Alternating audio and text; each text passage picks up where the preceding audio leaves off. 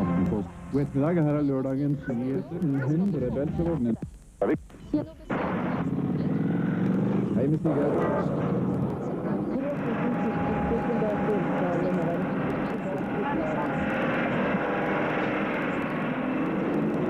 Nyhetene ved Magne Henriksen.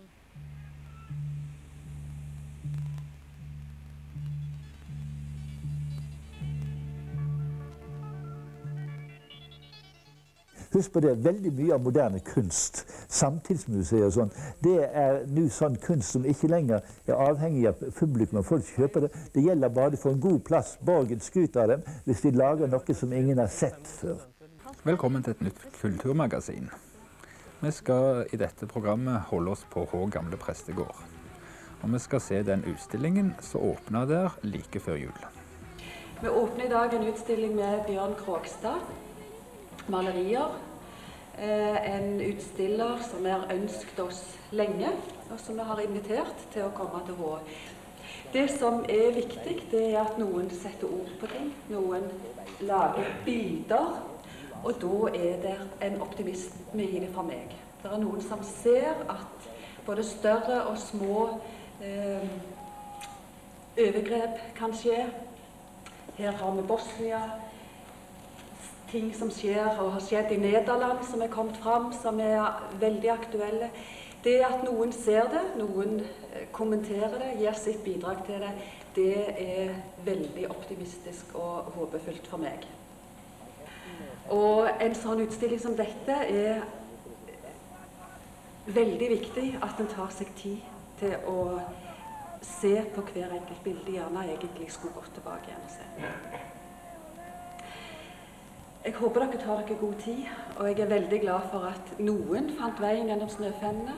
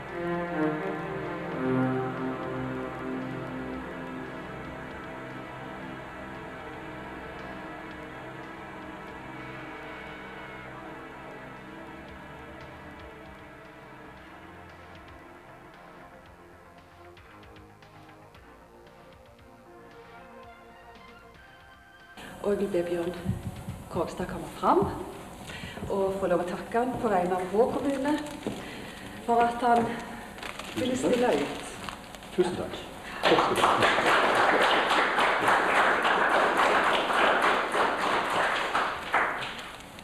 Ja. Da er utstillingen åpna. Denne utstillingen åpna på Hå gamle prestegård like før jul i 96. Hva var det beste vi sendte i Kulturmagasinet i 96? Hva var den beste utstillingen? Det er ikke lett å besvare det spørsmålet. Vi har vært på ganske mange utstillinger, og mange forskjellige utstillinger. En annen ting er at eh, vi her i Kulturmagasinet på ETV vi pleier stort sett ikke vurdere og kritisere utstillingene noe særlig. Jeg mener, min, min mening om en utstilling er vel ikke mer interessant enn noens mening om en utstilling. Det er omtrent like interessant. Men uh, vi har valgt fram en utstilling som eh, skiller seg litt ut. Den er fra H. gamle prestegård, og etter min mening så er det 1996 den beste utstillingen. Det er Vibeke Fuglesam Damgård. Utstillingen heter Spor i kropp.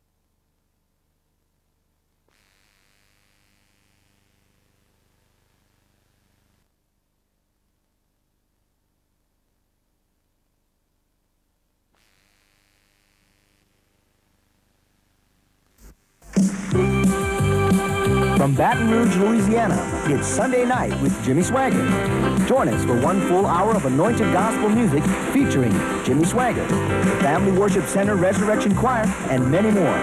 So sit back, call a friend, and prepare to be blessed and ministered to by the Spirit of God.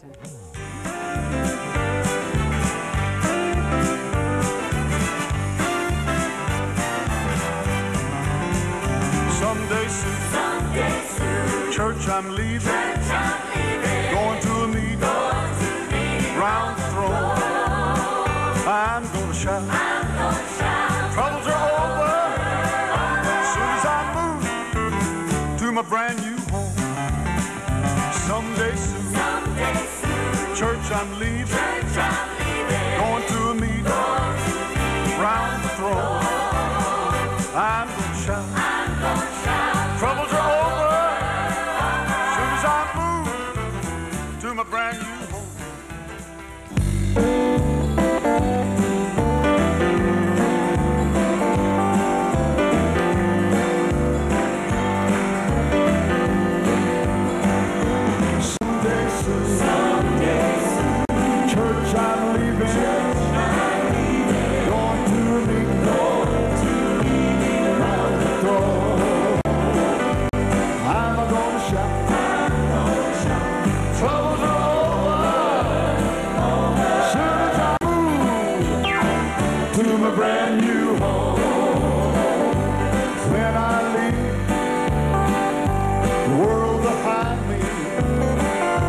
church I'm gone. I'll come no more. When I sung my last song. I'm gonna move to my brand new home.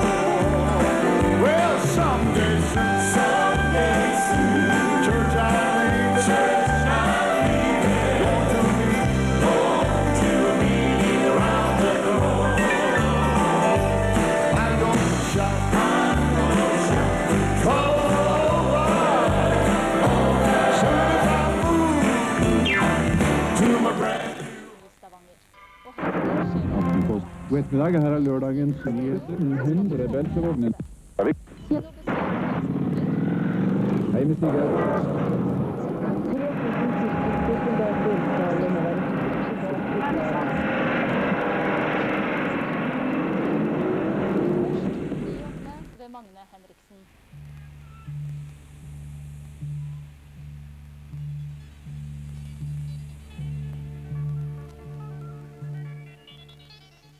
Husk på det, veldig mye av moderne kunst, samtidsmuseer og sånn, det er nå sånn kunst som ikke lenger er avhengig av publikum og folk kjøper det. Det gjelder bare for en god plass. Borgen skryter av dem hvis de lager noe som ingen har sett før. Velkommen til det siste kulturmagasinet på ETV på veldig, veldig lenge. Vi kommer av omstendigheter eh, som ikke helt er herre over sjøl, til å slutte våre sendinger på fredag. Og vi kommer med en eh, ny appell, en eh, orientering om dette på fredag, så følger vi sendingene våre da. ETV har i fem og et halvt år informert om distriktets kunst- og kulturliv. Nå er det slutt. Hvis dere vil at ETV skal bestå i fremtiden, så er vi avhengig av seernes støtte. Vi trenger at dere sender et postkort eller et brev til oss med uttrykk om deres støtte. Det er ikke så mange ord vi trenger. På postkortet kan det stå 'Jeg støtter ETV', underskrevet med et navn. Og sendt til ETV, postboks 2575 Ullandhaug, 4004 Stavanger. Og det er mange fine premier å vinne. Premien er at ETV kommer til å være på lufta, og at det blir programmer å se på den tiden du sitter og ser på TV akkurat nå. For hvis ETV blir tvungen til å innstille sendingene, så er det dette du vil få se. Midt i skoleåret har de nå fått beskjed om at fagplanen er endret, og at fag som de har tilegnet seg siden de startet studiet i vinter, nå har blitt erstattet av nye.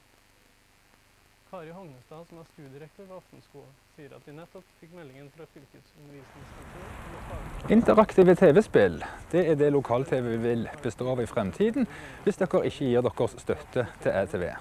Følg med på fredag. Da kommer der en fyldig informasjon. Nå skal vi til Hå gamle prestegård og se en utstilling som åpna der sist uke.